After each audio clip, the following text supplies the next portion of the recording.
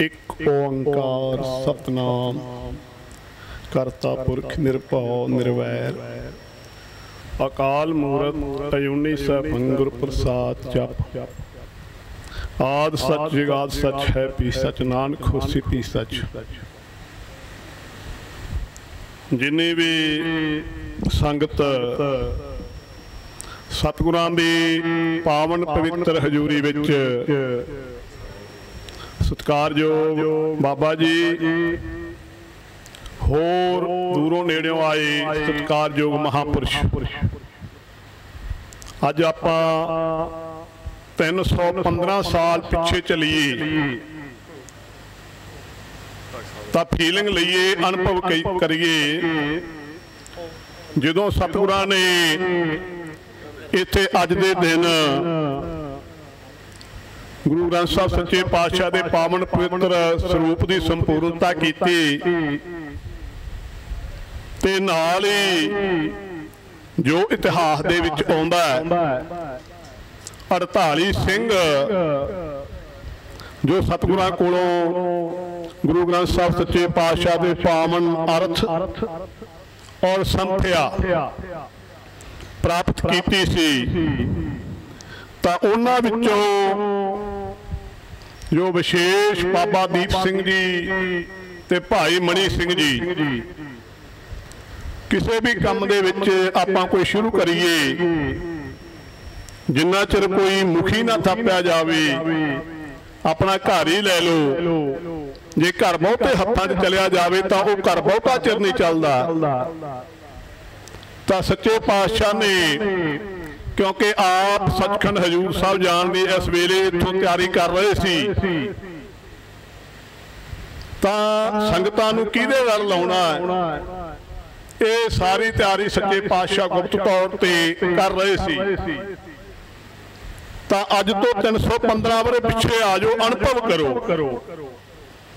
ਅਸੀਂ ਹੁਣ ਗੁਰਦੁਆਰਾ ਜਾਂਦੇ ਆ ਧਾਰਮਿਕ ਸਥਾਨਾਂ ਤੇ ਜਾਂਦੇ ਆ ਕੇਵਲ ਫਾਰਮੈਲਿਟੀ।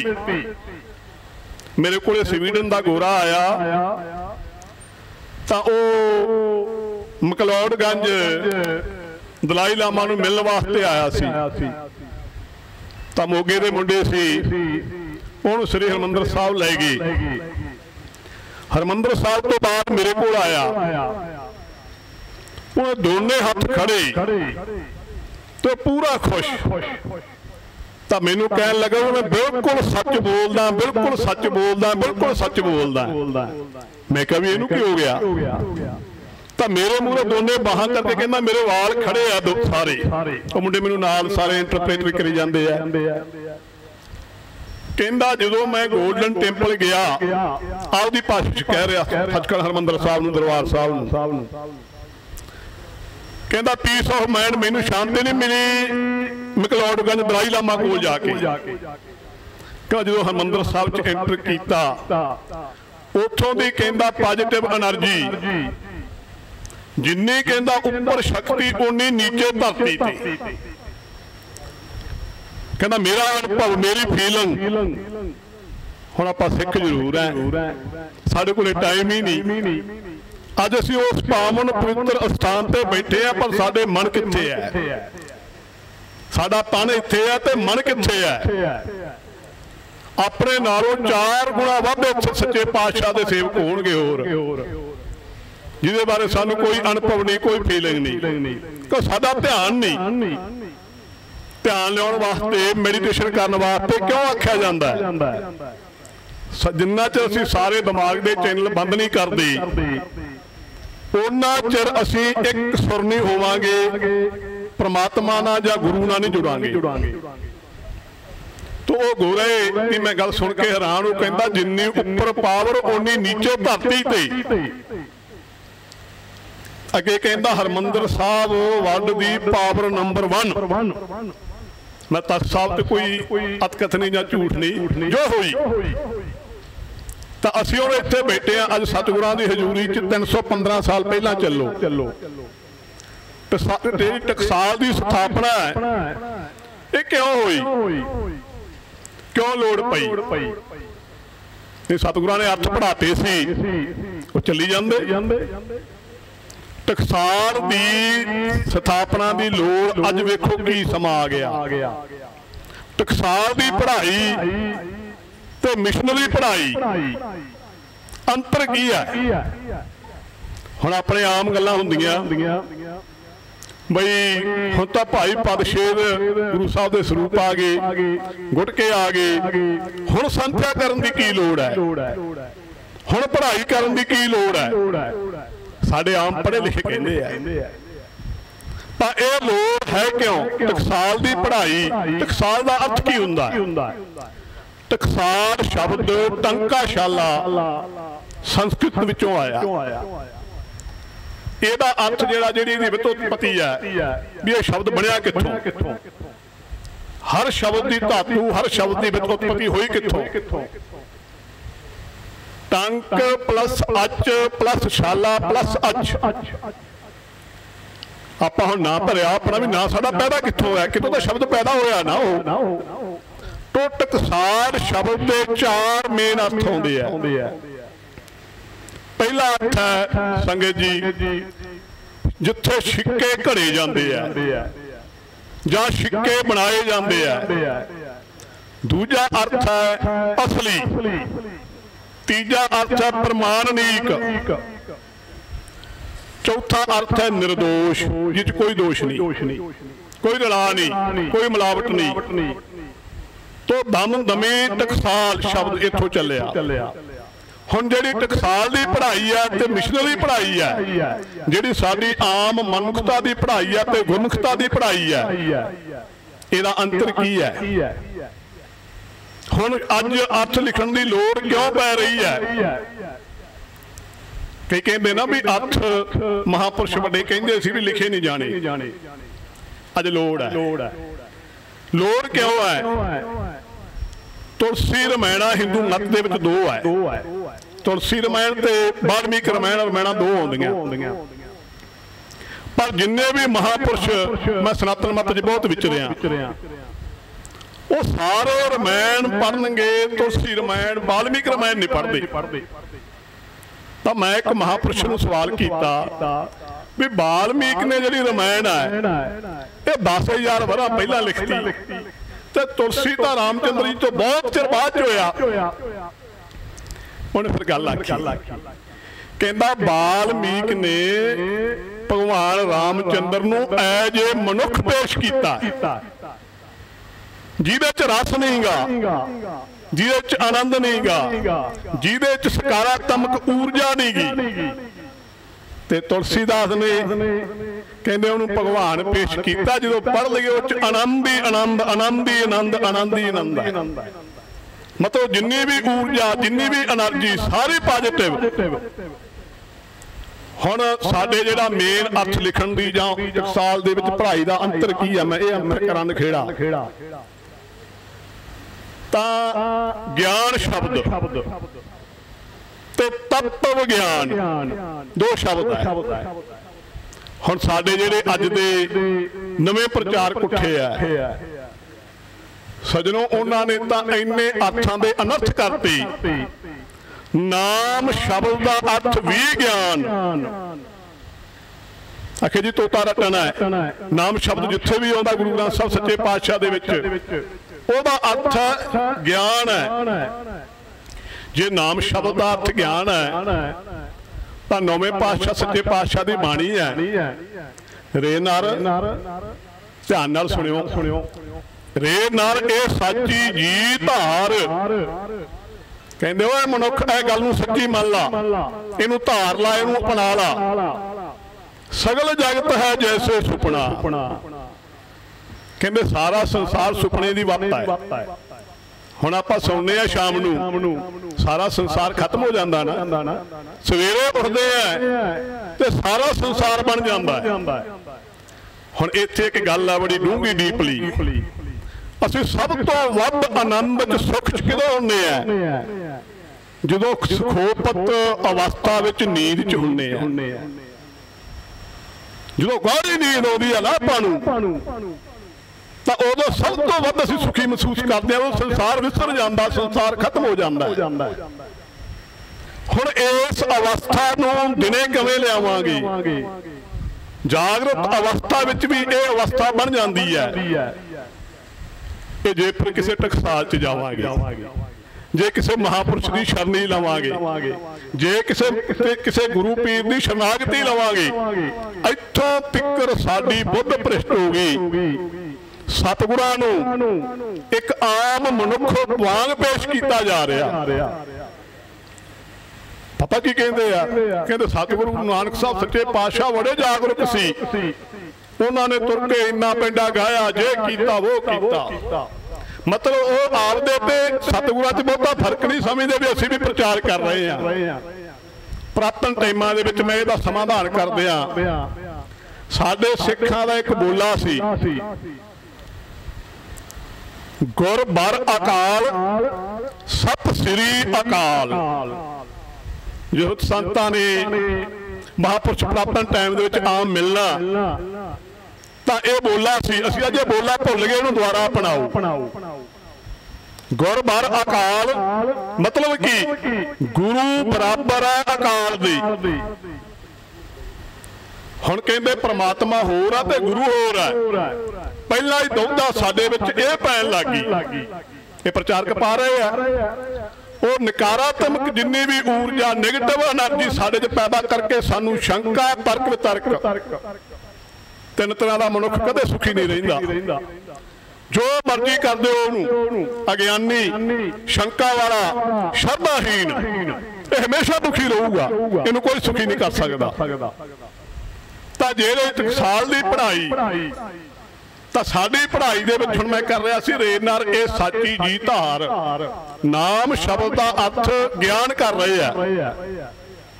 ਹੁਣ ਜਿਹੜੇ ਅਨਪੜ੍ਹ ਬੰਦੇ ਆ ਜਿਹੜੇ ਬੰਦੇ ਕਿਤੇ ਨਹੀਂ ਇਸ ਪਾਸੇ ਚੱਲੇ satsang ਨਹੀਂ ਕੀਤਾ ਮਹਾਪੁਰਸ਼ਾਂ ਦੀ ਸੰਗਤ ਨਹੀਂ ਕੀਤੀ ਜੇ ਉਹਨਾਂ ਕੋਲੇ ਅਰਥਾਂ 'ਚ ਲਿਖਿਆ ਲਿਟਰੇਚਰ ਜਾਂ ਸਾਡੇ ਗ੍ਰੰਥ ਜਾਂ ਸਾਡੀਆਂ ਪੋਥੀਆਂ ਨਹੀਂ ਜਾਣਗੇ।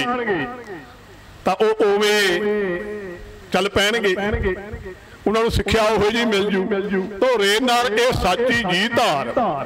ਕਹਿੰਦੇ ਆ ਮਨੁੱਖ ਇਹ ਗੱਲ ਨੂੰ ਸੱਚ ਮੰਨ ਲਾ ਸਗਲ ਜਗਤ ਹੈ ਜੈਸੇ ਸੁਪਨਾ ਨੌਵੇਂ ਪਾਤਸ਼ਾਹ।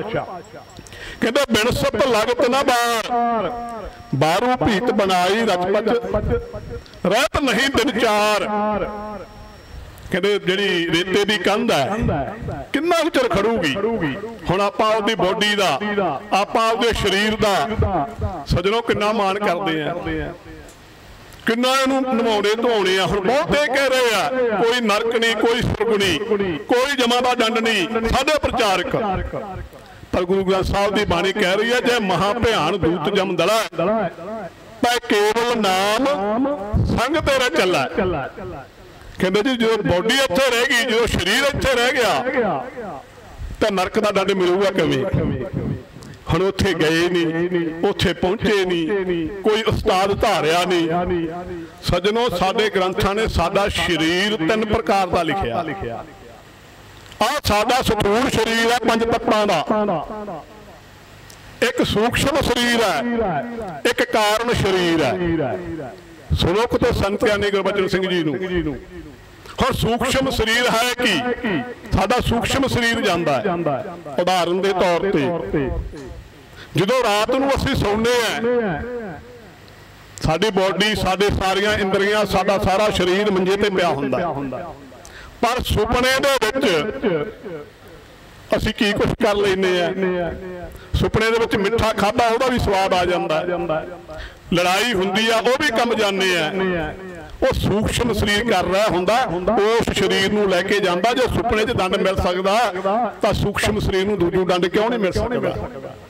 ਤਾਂ ਮਹਾਰਾਜ ਕਹਿੰਦੇ ਬਾਰੂ ਭੀਤ ਬਣਾਈ ਰਚਪਚ ਰਹਿਤ ਨਹੀਂ ਦਿਨ ਚਾਰ ਤੈਸੇ ਹੀ ਇਹ ਸੁਖ ਮਾਇਆ ਕੀ।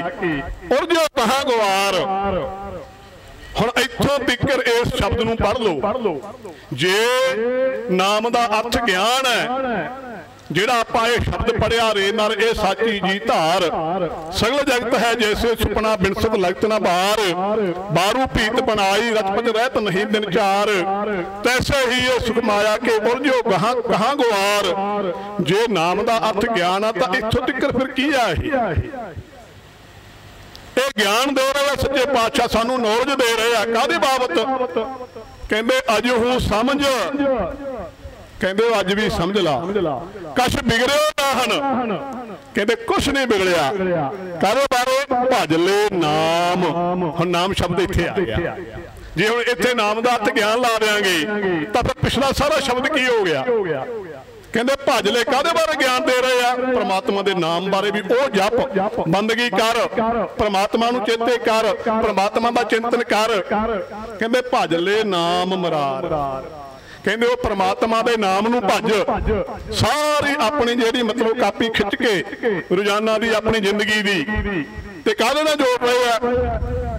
ਪ੍ਰਮਾਤਮਾ ਦੇ ਨਾਮ ਨਾਲ। ਹੁਣ ਗੁਰਬਾਣੀ ਸ਼ਬਦ ਹੈ, ਹੁਣ ਸਾਡੀ ਪੜ੍ਹਾਈ ਜਿਹੜੀ ਸੰਪਰਦਾਵਾਂ ਦੀ ਤੇ ਦੂਸਰੀ ਪੜ੍ਹਾਈ ਦਾ ਦੂਸਰਾ ਵੱਡਾ ਅੰਤਰ ਕੀ ਹੈ? ਫਿਰ ਇੱਕ ਗੱਲ ਹੋਰ ਕਰਦੇ ਆ। ਹੈ ਸਾਇੰਸ ਨੂੰ ਬਹੁਤ ਵੱਡਾ ਪੇਸ਼ ਕਰ ਰਹੇ ਆ। ਵੀ ਸਾਇੰਸ ਬਹੁਤ ਵੱਡੀ ਆ ਵੱਡੀ ਆ ਬਈ। ਵੀ ਅਸੀਂ ਤਾਂ ਵਿਗਿਆਨਕ ਅਰਥ ਕਰਦੇ ਆ ਅਸੀਂ ਤਾਂ ਵੀ ਸਮੇਂ ਦੇ ਨਾਲ ਚੱਲਦੇ ਆ ਮੈਨੂੰ ਇੱਕ ਗੱਲ ਦਾ ਉੱਤਰ ਦਿਓ ਸਾਇੰਸ ਕੀ ਹੈ? ਸਿਰਫ ਇੰਨੀ ਕਿ ਵੀ ਪਹਿਲਾਂ ਵੇਖੋ ਫਿਰ ਵਿਸ਼ਵਾਸ ਕਰੋ। ਸਾਇੰਸ ਦਾ ਇਹ ਥਿਉਰੀ ਆ ਇਹ ਫਾਰਮੂਲਾ। ਮੂਲਾ ਪਰ ਗੁਰਬਾਣੀ ਕੀ ਕਹਿੰਦੀ ਆ ਕਹਿੰਦੀ ਜਾਣ ਕੈ ਹਿਰਦਾ ਵਿਸ਼ਵਾਸ ਪ੍ਰਭ ਆਇਆ। ਕਹਿੰਦੇ ਪਹਿਲਾਂ ਵਿਸ਼ਵਾਸ ਕਰੋ। ਫਿਰ ਕਹਿੰਦੇ ਕੀ ਹੋਊਗਾ? ਤਪ ਗਿਆਨ ਤਿਸ ਮਨ ਪ੍ਰਗਟ ਆਇਆ। ਹੁਣ ਇੱਥੇ ਸ਼ਬਦ ਤਪ ਗਿਆਨ ਆਇਆ। ਗਿਆਨ ਤੇ ਤਪ ਗਿਆਨ ਦਾ ਅੰਤਰ ਕੀ ਹੈ? ਗੁਰੂ ਸਾਹਿਬ ਕਹਿੰਦੇ ਆ, ਪਾਰ ਬ੍ਰਹਮ ਪ੍ਰਭ ਸੂਖ ਨਿਧਾਨ। ਅੱਗੇ ਕਹਿੰਦੇ, ਤਪ ਗਿਆਨ ਹਰ ਅੰਮ੍ਰਿਤ ਨਾਮ। ਹੁਣ ਤਪ ਗਿਆਨ ਗਿਆ, ਸ਼ਬਦ ਆ ਗਿਆ। ਤੇ ਪਿੱਛੇ ਅੰਮ੍ਰਿਤ ਨਾਮ ਆ ਗਿਆ। ਹੁਣ ਇਹਦਾ ਮਤਲਬ ਕੀ ਹੈ? ਪਾਰ ਬ੍ਰਹਮ ਪ੍ਰਭ ਸੂਖ ਨਿਧਾਨ। ਜਿਹੜਾ ਪ੍ਰਮਾਤਮਾ ਸੁੱਖਾਂ ਦਾ ਖਜ਼ਾਨਾ ਹੈ। ਸਮੁੰਦਰ ਹੈ। ਤਪ ਗਿਆਨ ਕਹਿੰਦੇ ਤਪ ਗਿਆਨ ਹੁੰਦਾ ਕਿਵੇਂ ਹੈ? ਹਰ ਅੰਮ੍ਰਿਤ ਨਾਮ। ਜਿਹੜਾ ਉਹਦਾ ਅੰਮ੍ਰਿਤ ਰੂਪੀ ਨਾਮ ਹੈ ਉਹ ਜਪਣ ਨਾਲ ਉਹਦੀ ਕਮਾਈ ਕਰਨ ਨਾਲ ਤਪ ਦਾ ਗਿਆਨ ਹੋ ਜਾਂਦਾ ਹੋ। ਹੈ ਜਾਂਦਾ ਤਤ ਗਿਆਨ ਹੈ ਕੀ ਸ਼ੈ? ਤਤ ਗਿਆਨ ਕਹਿੰਦੇ ਕਿਹਨੂੰ ਹੈ? ਜਿਵੇਂ ਇੱਕ ਸੂਰਮਾ ਆਦਮੀ ਅੰਨਾ ਆਦਮੀ, ਜਿਹਦੇ ਅੱਖਾਂ ਨਹੀਂ ਨੇਤਰ ਨਹੀਂ। ਉਹ ਪ੍ਰਕਾਸ਼ ਬਾਰੇ ਲਾਈਟ ਬਾਰੇ ਚਾਨਣ ਬਾਰੇ ਬਹੁਤ ਸੋਚਦਾ ਵੀ ਪ੍ਰਕਾਸ਼ ਇਉਂ ਹੋਊਗਾ, ਪ੍ਰਕਾਸ਼ ਇਉਂ ਹੋਊਗਾ, ਪ੍ਰਕਾਸ਼ ਇਉਂ ਹੋਊਗਾ। ਇਹ ਉਹਦੀ ਫਿਲਾਸਫੀ ਹੈ। ਇਹ ਉਹਦਾ ਗਿਆਨ ਹੈ। ਜਿਹਦਾ ਜਿਹਦੇ ਅੱਖਾਂ ਹੈ ਨਹੀਂ ਨਾ, ਹੁਣ ਆਪਣੇ ਅੱਖਾਂ ਆਪਾਂ ਨੂੰ ਪ੍ਰਕਾਸ਼ ਬਾਰੇ ਪਤਾ ਹੈ। ਇੱਕ ਸੂਰਮੇ ਆਦਮੀ ਨੂੰ ਪੁੱਛੋ ਪ੍ਰਕਾਸ਼ ਉਹ ਬਹੁਤ ਸੋਚਦਾ ਪ੍ਰਕਾਸ਼ ਬਾਰੇ। ਉਹਨੇ ਪ੍ਰਕਾਸ਼ ਦੇਖਿਆ ਨਹੀਂ। ਵੀ ਪ੍ਰਕਾਸ਼ ਇਉਂ ਹੋਊਗਾ ਪ੍ਰਕਾਸ਼ ਇਉਂ ਹੋਊਗਾ ਪ੍ਰਕਾਸ਼ ਬਾਰੇ ਬਹੁਤ ਐਕਸਪਲੇਨ ਕਰੂਗਾ। ਇਹ ਉਹਦੀ ਫਿਲਾਸਫੀ ਹੈ। ਤਤ ਗਿਆਨ ਕਿਹਨੂੰ ਕਹਿੰਦੇ ਆ? ਕਹਿੰਦੇ ਆ। ਜੇ ਭਾਈ ਸੂਰਮੇ ਦੀਆਂ ਅੱਖਾਂ ਖੁੱਲ ਜਾਣ ਪ੍ਰਕਾਸ਼ ਨੂੰ ਦੇਖ ਲਵੇ ਉਹ ਤਤ ਗਿਆਨ। ਇਹ ਗਿਆਨ ਭਾਈ ਇਹਨਾਂ ਸੰਪਰਦਾਵਾਂ 'ਚ ਇਹਨਾਂ ਟਕਸਾਲਾਂ 'ਚ ਦਿੱਤਾ। ਜਾਂਦਾ। ਸਾਡੀ ਪੜ੍ਹਾਈ ਦਾ ਤੇ ਉਹਨਾਂ ਦੀ ਪੜ੍ਹਾਈ ਦਾ ਅੰਤਰ ਇੰਨਾ ਹੀ ਹੈ। ਹੁਣ ਅਸੀਂ ਕਿਸੇ ਅੱਜ ਕਥਾ ਸੁਣਦੇ ਆ ਬਿਨਾ ਨਿੰਦਾ ਤੋਂ, ਬਿਨਾ ਗੁਰੂ ਦੇ ਆਸ਼ੇ ਤੋਂ, ਇਹਨਾਂ ਕੋਲੇ ਹੈ ਕੀ? ਹੈ ਫਲਾਨਾ ਮਾੜਾ, ਫਲਾਨਾ ਨਿੰਦਾ ਕੌਣ ਹੁੰਦਾ ਹੈ? ਜਿਹੜਾ ਕਹਿੰਦਾ, ਮੈਂ ਚੰਗਾ, ਇਹ ਮਾੜੀ। ਤਾਂ ਜਿਹੜੀ ਟਕਸਾਲ ਚਲਾਉਣ ਦੀ ਸੱਚੇ ਪਾਤਸ਼ਾਹ ਨੂੰ ਲੋੜ ਪਈ, ਸੰਪਰਦਾ ਚਲਾਉਣ ਦੀ ਲੋੜ ਪਈ ਪਈ ਆ ਲੋੜ ਸੀ ਅੱਜ। ਉਹ ਸੱਚੇ ਪਾਤਸ਼ਾਹ ਨੂੰ ਪਤਾ ਸੀ ਵੀ ਮੇਰੇ ਘਰ 'ਚ ਇਹੋ ਜਿਹੇ ਪੈਦਾ ਹੋਣਗੇ। ਇਹ ਸੁਭਾਵਕ ਇਹ ਵਰਤਾਰਾ ਵੱਧ ਗਿਆ। ਜੇ ਅੱਜ ਜਿਹੜੀ ਗੱਲ ਰਹਿ ਗਈ, ਅਰਥਾਂ ਦੇ ਲਿਖਣ ਦੀ ਗੱਲ ਭਾਈ ਜੀ ਵਾਸੋ ਕਰ ਰਿਹਾ ਸੀ। ਇਹਦੇ ਬਾਰੇ ਮੈਂ ਤੁਹਾਨੂੰ ਸੰਤ ਗਿਆਨੀ ਵੀਰ ਸਿੰਘ ਕਿਆ ਲਈ ਉਹਨਾਂ ਦੇ ਜਿਹੜੀ ਮੈਨੂੰ ਸੁਣਾਈ ਗੱਲ, ਮੈਂ ਕੰਨੀ ਸੁਣੀ ਕੋਲੇ ਬੈਠ ਕੇ। ਜਿਹੜੀ ਲਿਖਣ ਦੀ ਗੱਲ ਹੈ। ਹੁਣ ਕਹਿੰਦੇ ਆ ਨਾ ਵੀ ਲਿਖਣੇ ਨਹੀਂ ਚਾਹੀਦੇ। ਬਹੁਤ ਜ਼ਰੂਰੀ। ਹੁਣ ਕਿੰਨੇ ਟੀਕੇ ਛਾਪਤੇ ਤੇ ਹੈ ਹੁਣ ਮੈਂ ਨਾਂ ਲੈਣੋਂ ਗੁਰੇਜ ਨਹੀਂ ਕਰੂੰਗਾ।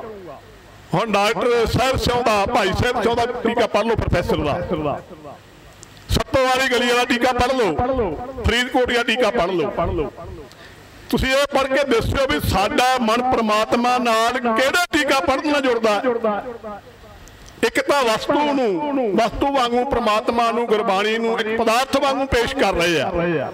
ਜਿਹੜਾ ਟੀਕਾ ਅੱਜ ਟਕਸਾਲ ਕੋਲੇ ਇਹ ਗੱਲ ਹੋਰ, ਜਿਹੜੇ ਇਹ ਅਰਥ ਹੈ, ਇਹ ਕਿਸੇ ਸੰਤ ਦੇ ਨਹੀਂ, ਇਹ ਕਿਸੇ ਬੰਦੇ ਦੇ ਨਹੀਂ, ਇਹ ਗੁਰੂ ਗੋਬਿੰਦ ਸਿੰਘ ਮਹਾਰਾਜ ਸੱਚੇ ਪਾਤਸ਼ਾਹ ਤੋਂ ਜੋ ਸੀਨੇ ਬਸੀਨੇ ਚੱਲੇ ਆ, ਜਿਹਦੇ ਤੇ ਵੀ ਬਖਸ਼ਿਸ਼ ਆਉਂਦੀ ਹੈ ਨਾ, ਜਦੋਂ ਸੰਤ ਗਿਆਨੀ ਜਰਨੈਲ ਸਿੰਘ ਖਾਲਸਾ ਪਿੰਡ ਰਾਇਆ ਨੂੰ ਪੱਗ ਮਿਲੀ, ਉਦੋਂ ਅਨਪੜ੍ਹ ਕਹਿੰਦੇ ਸੀ ਗੱਲ ਸੱਚ ਹੈ।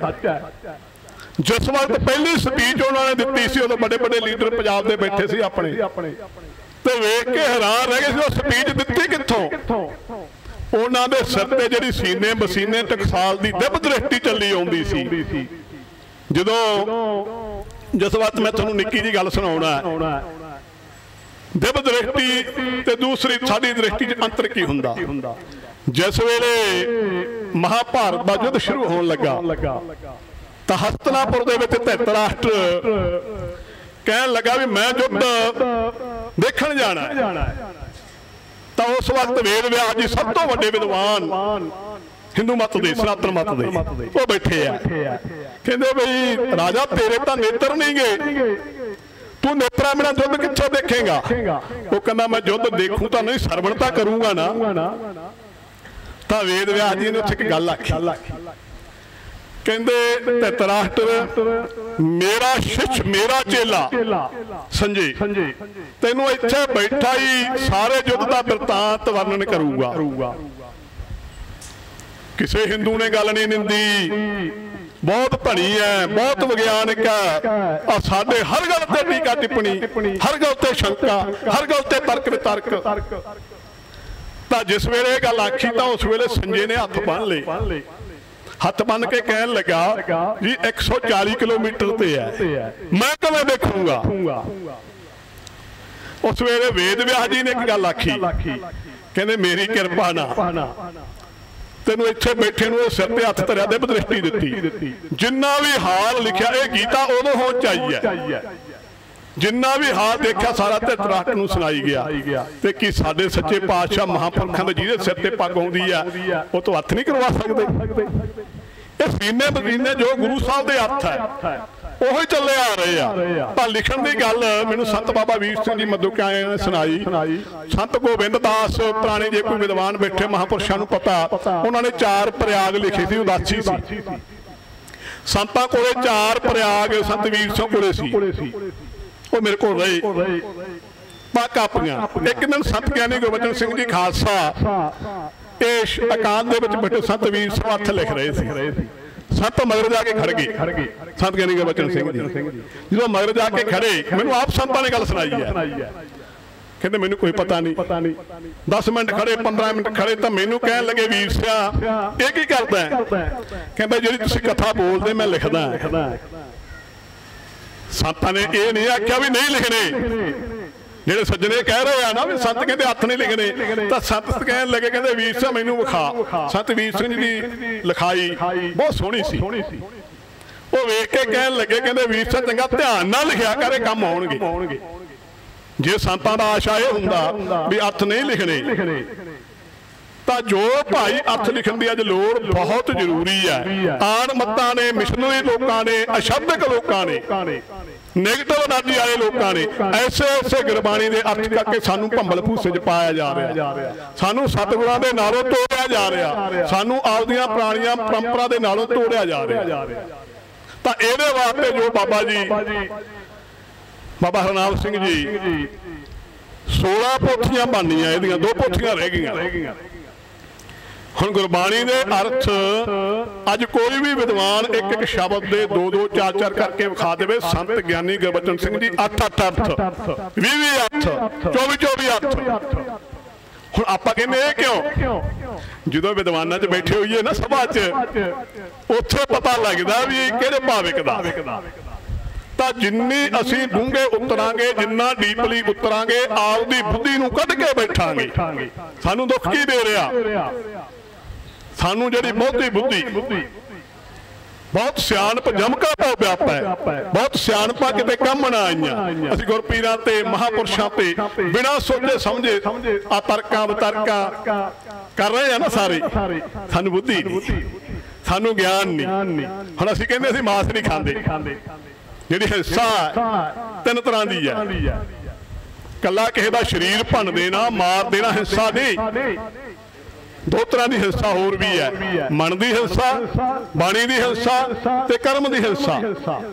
ਜਿੰਨਾ ਅਸੀਂ ਮਨ ਦੇ ਨਾਲ ਬੁਰਾ ਸੋਚਦੇ ਆ ਉਹਨਾਂ ਹੱਥਾਂ ਨਾਲ ਨਹੀਂ ਕਰਦੇ। ਉਹ ਵੀ ਹਿੱਸਾ।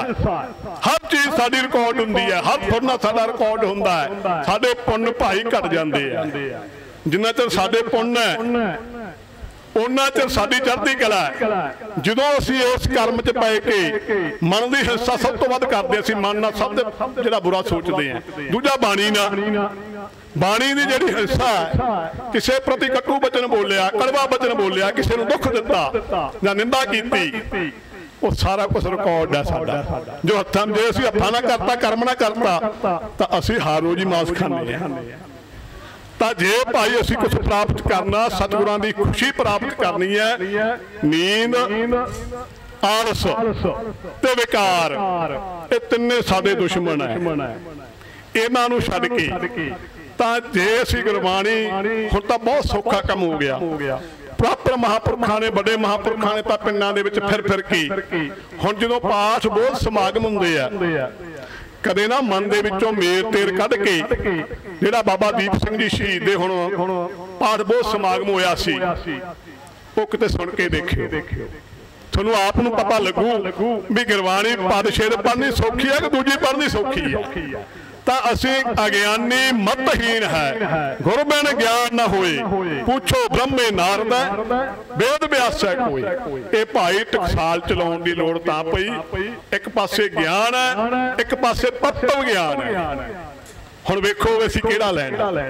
ਤਾਂ ਬਿਨਾਂ ਸੋਚੇ ਸਮਝੇ ਅਸੀਂ ਜੋ ਛੱਜ ਕੁੱਟਣ ਲੱਗਦੇ ਸਾਰੀ ਦਿਹਾੜੀ ਫਲਾਨਾ ਮਾੜਾ ਫਲਾਨਾ ਮਾੜਾ। ਉਹ ਅਸੀਂ ਕਿਸੇ ਤੋਂ ਕੀ ਲੈਣਾ? ਮੈਂ ਸਭ ਨੂੰ ਕਹਿੰਦਾ ਹੁੰਨਾ ਗੁਰੂ ਸਾਹਿਬ ਦੀ ਬਾਣੀ 'ਚ ਵੀ ਹੈ ਤੂੰ ਆਪਣੀ ਨਿਬੇੜ ਤੈਨੂੰ ਕਿਸੇ ਨਾਲ ਕੀ? ਗੁਰੂ ਸਾਹਿਬ ਦੀ ਬਾਣੀ 'ਚ ਲੋਕਾਂ ਆਪੋ ਆਪਣੀ ਮੈਂ ਆਪਣੀ ਭਾਈ। ਕਦੇ ਨਿੰਦਾ ਨਾ ਕਰੋ। ਡੂੰਘੇ ਉਤਰੋ। ਕਿਸੇ ਦੇ ਨੇੜੇ ਹੋ ਕੇ ਵੇਖੋ ਕੀ ਆ। ਉੱਪਰ ਉੱਪਰ ਨਾ ਫਿਰੋ। ਸਾਡੀ ਅੱਜ ਸਿੱਖਾਂ ਦੀ ਬਹੁਤ ਵੱਡੀ ਤਰਾਸਦੀ ਹੈ। ਅਸੀਂ ਨੀਚੇ ਨੂੰ ਜਾ ਰਹੇ ਆ ਅਸੀਂ ਉੱਪਰ ਨੂੰ ਨਹੀਂ ਜਾ ਰਹੇ। ਅਸੀਂ ਲਾਲ ਪੀਲੀਆਂ ਐਨਕਾਂ ਲਾ ਕੇ ਆਪਦੇ ਹਿਸਾਬ ਨਾਲ ਫੈਸਲੇ ਕਰਦੇ ਆ ਧਰਮ ਸਿਧਾਂਤ ਦਾ ਵਿਸ਼ਾ ਮਨ ਦਾ ਵਿਸ਼ਾ ਨਹੀਂ ਜਿੰਨੇ ਵੀ ਫੈਸਲੇ ਮਨ ਨਾਲ ਕੀਤੇ ਜਾਂਦੇ ਆ ਜਜ਼ਬਾਤ ਨਾਲ ਕੀਤੇ ਜਾਂਦੇ ਆ ਇਹ ਹਮੇਸ਼ਾ ਗਲਤ ਹੁੰਦੇ ਆ। ਜਿੰਨੇ ਫੈਸਲੇ ਬੁੱਧੀ ਨਾਲ ਲਏ ਜਾਂਦੇ ਆ ਉਹ ਬਿਲਕੁਲ ਠੀਕ ਹੁੰਦੇ ਆ। ਤਾਂ ਭਾਈ ਮੈਂ ਤੁਹਾਨੂੰ ਸਾਰਿਆਂ ਨੂੰ ਟਾਈਮ ਬਹੁਤ ਲਾ ਗਿਆ। ਬਾਬਾ ਜੀ ਨੂੰ ਜੋ ਟਕਸਾਲ ਦੇ ਮੁਖੀ ਆ ਬਹੁਤ ਭਾਰੀ ਕੰਮ ਕਰ ਰਹੇ ਆ। ਇੰਨੀ ਕੁ ਖਿੱਚ ਹੈ ਇਹਨਾਂ 'ਚ ਦਿਨ ਰਾਤ। ਮੈਂ ਨੇੜੇ ਇਹਨਾਂ ਦੇ ਹੋ ਕੇ ਵੇਖਿਆ। ਤਾਂ ਮਤਲਬ ਜੋ ਆਮ ਆਦਮੀ ਦੇ ਵਿੱਚ ਪੇਸ਼ ਕੀਤਾ ਜਾਂਦਾ ਉਹ ਤੋਂ ਬਿਲਕੁਲ ਹੀ ਉਲਟ। ਤਾਂ ਭਾਈ ਮੈਂ ਤੁਹਾਨੂੰ ਇੰਨੀ ਬੇਨਤੀ ਕਰਦਾ ਵੀ ਕੰਮ ਸੇ ਕੰਮ ਅਸੀਂ ਸਿੱਖਾਂ ਦੇ ਬੱਚੇ ਆ ਜਪਜੀ ਸਾਹਿਬ ਦੀ ਸੰਥਿਆ ਤਾਂ ਕਰ ਲਓ। ਜਿਸ ਵੇਲੇ ਮੇਰੇ ਯਾਦ ਆ ਗਿਆ ਭਾਈ ਮੰਝ ਦੇ ਗੁਰੂ ਅਰਜਨ ਦੇਵ ਸੱਚੇ ਪਾਤਸ਼ਾਹ ਨੇ ਰੱਖਿਆ ਕੀਤੀ। ਤਾਂ ਉਸ ਵੇਲੇ ਜਦੋਂ ਮਹਾਰਾਜ ਨੇ ਭਾਈ ਮੰਝ ਨੂੰ ਪੁੱਛਿਆ ਕਹਿੰਦੇ, ਮੰਝ, ਮੰਗ ਕੀ ਮੰਗਦਾ ਤਾਂ ਸੱਚੇ ਪਾਤਸ਼ਾਹ ਕਹਿਣ ਲੱਗਾ ਕਹਿੰਦਾ, ਮਹਾਰਾਜ, ਕਾਸੇ ਦੀ ਲੋੜ ਨਹੀਂ। ਤਾਂ ਮਹਾਰਾਜ ਕਹਿੰਦੇ, ਨਹੀਂ, ਦੇਣਾ ਹੀ ਹੈ। ਫਿਰ ਕਹਿੰਦਾ, ਮਹਾਰਾਜ ਕਿ ਸਿੱਖ ਦਾ ਇਮਤਿਹਾਨ ਨਾ ਲਿਓ। ਉਹ ਫੇਰ ਕਹਿੰਦੇ, ਮਹਾਰਾਜ, ਕਹਿੰਦੇ, ਨਹੀਂ, ਦੇਣਾ ਹੀ ਆ ਮੰਗ। ਉਹ ਕਹਿੰਦਾ, ਨਹੀਂ, ਮਹਾਰਾਜ, ਬਸ ਕਿ ਸਿੱਖ ਦਾ ਇਮਤਿਹਾਨ ਨਾ ਲਿਓ। ਪਰ ਉੱਥੇ ਸੱਚੇ ਪਾਤਸ਼ਾਹ ਨੇ ਬੇਨਤੀ ਕੀਤੀ ਆਪਾਂ ਨੂੰ ਵਰ ਦਿੱਤਾ, ਆਸ਼ੀਰਵਾਦ ਦਿੱਤਾ। ਕਹਿੰਦੇ, ਮੰਝ ਤੈਨੂੰ ਸੱਚਖੰਡ ਦੀ ਪਹਿਰੇਦਾਰੀ ਦਿੱਤੀ। ਨਾਲ ਇੱਕ ਸ਼ਰਤ ਲਾਈ ਹੈ ਕੰਡੀਸ਼ਨ ਕਹਿੰਦੇ ਜਿਹੜਾ ਵੀ ਸਿੱਖ ਤੈਨੂੰ ਜਪਜੀ ਸਾਹਿਬ ਦਾ ਜਵਾਨੀ ਪਾਠ ਸੁਣਾ ਦਿਆ ਕਰੂਗਾ ਨਾ ਉਹਨੂੰ ਗਾਂ ਨਿਗਾਹ। ਸਾਡੇ ਜਪਜੀ ਸਾਹਿਬ ਨਹੀਂ ਯਾਦ ਸਾਡੇ ਨਿਤਨੇਮ ਨਹੀਂ ਯਾਦ। ਜਿਹੜੀ ਮੇਨ ਚੀਜ਼ ਆ ਸਾਡੀ ਜਪਜੀ ਸਾਹਿਬ ਮੁਸਲਮਾਨਾਂ ਦੇ ਪੰਜ ਨਮਾਜ਼ਾਂ। ਜਦੋਂ ਮੁਹੰਮਦ ਸਾਹਿਬ ਪਹਿਲਾਂ ਲੈ ਕੇ ਆਏ ਆ ਨਾ ਖੁਦਾ ਕੋਲੋਂ ਤਾਂ 50 ਨਮਾਜ਼ਾਂ ਦਾ ਹੁਕਮ ਸੀ। ਤਾਂ ਇਬਰਾਹਿਮ ਮਿਲਿਆ ਰਸਤੇ 'ਚ। ਕਹਿੰਦਾ 50 ਪਾ ਸਾਰੀ ਦਿਹਾੜੀ ਲੰਘ ਜਾ ਕਰੂ। ਦੁਆਰਾ ਜਾ। ਦੁਆਰਾ ਜਾ। ਕੇ ਪੰਜ ਕਰਾ ਕੇ ਲਿਆ ਉਹ ਸਾਨੂੰ ਤਾਂ ਗੁਰੂ ਗੋਬਿੰਦ ਸਿੰਘ ਸੱਚੇ ਪਾਤਸ਼ਾਹ ਨੇ ਪੰਜ ਬਾਣੀਆਂ ਸਿਰਫ 25 ਮਿੰਟ ਸਵੇਰੇ ਤੇ 20 ਮਿੰਟ 15 ਮਿੰਟ ਸ਼ਾਮ ਨੂੰ ਅਸੀਂ ਫੇਰ ਵੀ ਨਹੀਂ ਕਰ ਰਹੇ। ਤਾਂ ਮੈਂ ਇੰਨਾ ਕੁਝ ਕਹਿੰਦਾ ਭਾਈ ਬਾਬਾ ਜੀ ਨੂੰ ਬਹੁਤ ਬਹੁਤ ਵਧਾਈ ਦਿੰਨਾ। ਸੱਚੇ ਪਾਤਸ਼ਾਹ ਕਿਰਪਾ ਕਰਨ ਜੇ ਕੋਈ ਗਲਤ ਬੋਲਿਆ ਹੋਇਆ ਹੋਵੇ ਮਾਫ ਕਰਨ। ਵਾਹਿਗੁਰੂ ਜੀ ਕਾ ਖਾਲਸਾ ਵਾਹਿਗੁਰੂ ਜੀ ਕੀ ਫਤਿਹ। ਇੱਕ ਮਿੰਟ ਬਾਬੂ ਜੀ। ਸ਼੍ਰੀਮਾਨ ਸੰਤ ਪ੍ਰਦੀਪ ਸਿੰਘ ਜੀ ਦਾ